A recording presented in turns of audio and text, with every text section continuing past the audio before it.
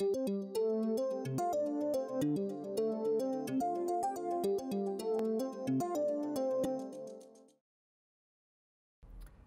the heat capacities for ideal gases, at least the ideal gases that we've been able to understand using the 3D particle in a box model, have turned out to be fairly simple. So the internal energy of an ideal gas, as predicted by the 3D particle in a box model, is 3 halves RT. The enthalpy per mole of that same gas would be 5 halves RT.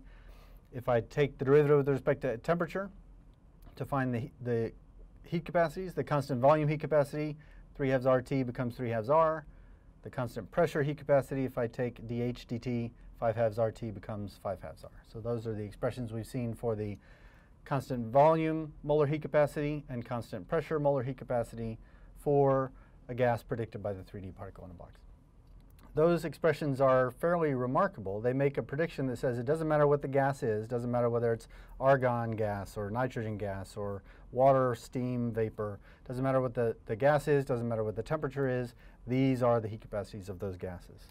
If, if I want a numerical value, if I take the gas constant 8.314 and I multiply by one and a half, predicts that the heat capacity, the constant volume heat capacity of every gas is 12 and a half joules per mole Kelvin.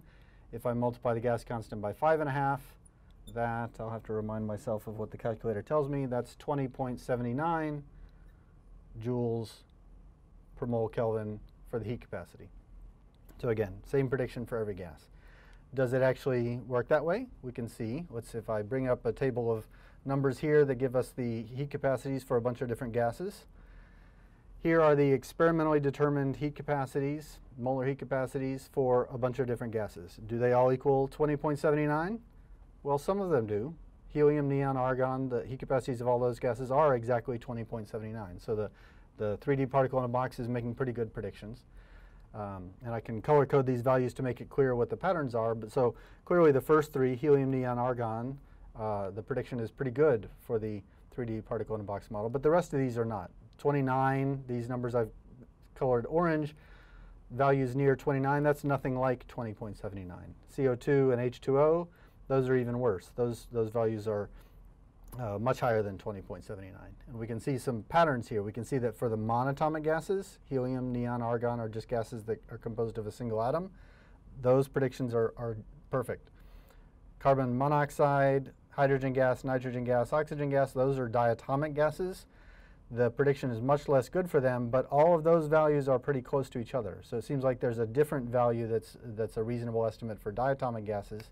For these triatomic gases, carbon dioxide and water, again, it's a completely different value, and this prediction is even worse. So clearly something has gone wrong with the 3D particle in a box model, and it's actually even worse than what these data show because the, the heat capacity here again, doesn't depend on what the molecule is, also doesn't depend on the conditions like the temperature. So we would make the prediction that these heat capacities are the same regardless of what the conditions are.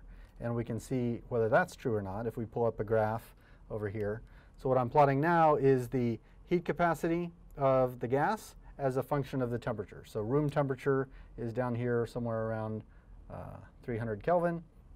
And for argon gas, again, a monatomic ideal gas, uh, gas that behaves fairly ideally, things are fine. The value is 20.79, exactly as we predicted with 3, 3D particle in a box model, and that value does not change very much at all as the temperature changes. But if I pull up the data for another gas, like nitrogen gas, we can see that the value at room temperature, which we saw was about 29 and change at room temperature, if I change the temperature, the prediction gets even worse. So at 500 Kelvin or 1000 Kelvin or 2000 Kelvin, the value is not well predicted by the 3D particle in a box model, and it also keeps changing. So pretty clearly, the heat capacity, for some gases at least, is dependent on the temperature, has some dependence on the temperature. So that's going to complicate things a little bit. Uh, we can um, take two approaches. We can take the empirical approach and say, well, now that we know that heat capacities are different for every gas, we can just look up those values or look up a graph or, uh, uh, of those values and see how they vary. And one way to do that would be to say for every gas, to handle the temperature dependence, a pretty common thing to do is to use an empirical equation like this one. In fact, this equation has a name.